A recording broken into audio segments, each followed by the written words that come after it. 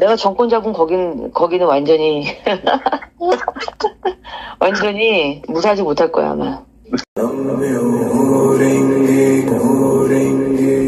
사진 속의 그 시계는 한 4시 한 20분 정도를 가리키고 네, 있죠. 맞습니다. 예, 그걸로 봤을 때는 저 사진 속에 그 나오는 인물들은 어, 윤석열 후보자의 그 외가 쪽 예, 식구들이 아닌가. 사진 왼쪽 보시면은 그 시계가 하나 있습니다.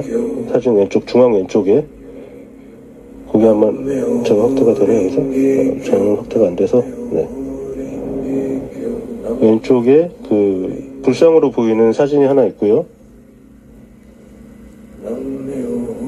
네, 4시 26분이라고 찍혀 있죠.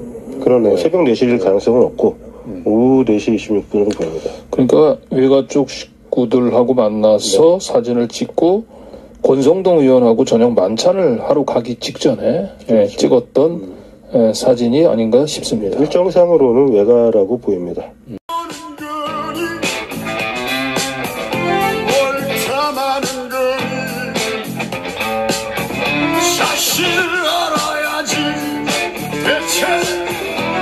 저자는 거니?